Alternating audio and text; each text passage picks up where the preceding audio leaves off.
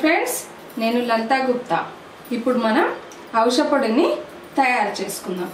దానికి కావలసిన పదార్థాలు అవిషలు ఎండుమిర్చి చింతపండు ఎల్లిపాయలు కల్లుప్పు అలాగే బెల్లం.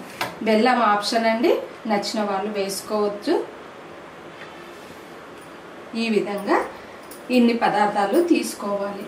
ముందుగా మనం స్టవ్ వెలిగించి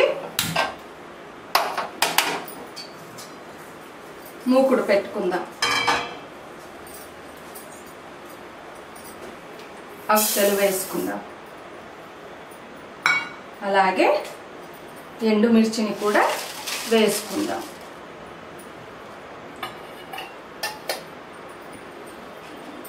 అలాగే కల్లుప్పు వేసుకుందాం. అలాగే చింతపండు వేసుకుందాం. ఎల్లిపాయలు బెల్లం తర్వాత వేసుకుందామండి. వీటిని వేసుకొని సన్నని సెగ పైన వేయించుకుందాం.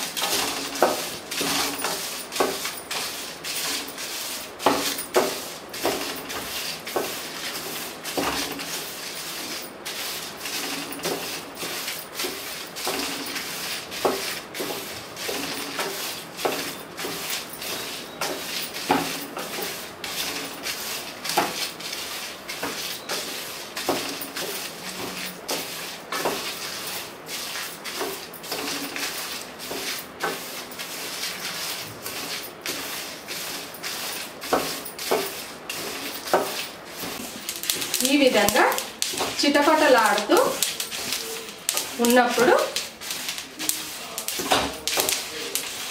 చక్కగా కలుపుకొని చిటపట్లాడుతూ వరకు వేయించుకొని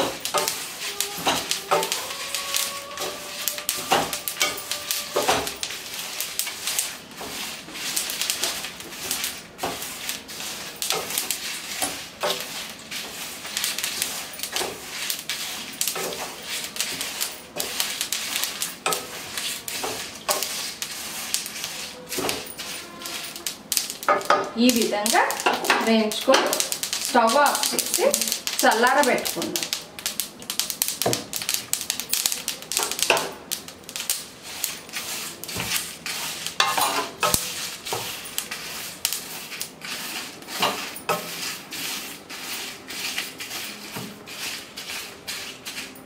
చల్లారిన తర్వాత మిక్సీకి వేసుకుందాం.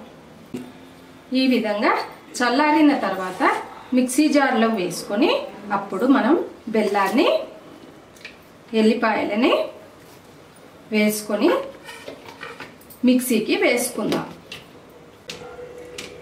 ఈ విధంగా మిక్సీకి వేసుకొని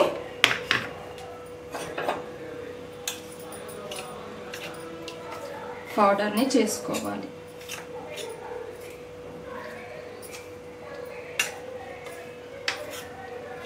ఈ ఔషధ గింజలు చాలా మంచిదండి. దీనిని పౌడర్ చేసుకొని మనం అన్నంలోకి కలుపుకొని నెయ్యి వేసుకొని తిన్నట్టయితే చాలా రుచిగా ఉంటుంది. దీంట్లో బెల్లం చింతపండు వేసుకున్నాం.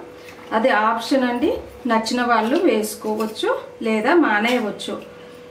బెల్లం చింతపండు వేసుకున్నట్టయితే కట్టా మీఠా టేస్ట్తో చాలా రుచిగా ఉంటుంది.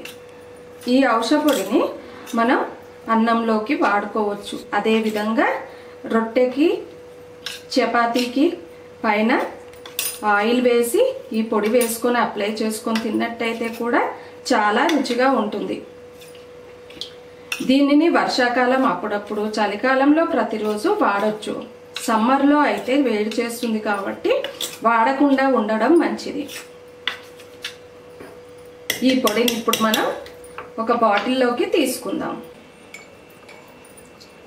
ఈ విధంగా ఒక బాటిల్లోకి తీసుకొని మనం వాడుకోవాలి.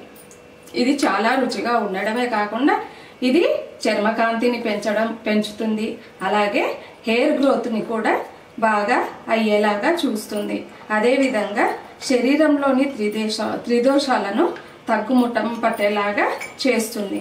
ఈ విధంగా మనం ఈ పొడిని వాడుకోవడం ద్వారా చాలా బెనిఫిట్స్ ఉన్నాయి. ఫ్రెండ్స్ ఈ విధంగా ఈ పొడిని చేసుకొని మనం వాడుకున్నట్లయితే ఎన్నో లాభాలు కలుగుతాయి. ఈ వీడియో కనుక మీకు నచ్చినట్టయితే లైక్ చేయండి షేర్ చేయండి సబ్స్క్రైబ్ చేసుకోండి.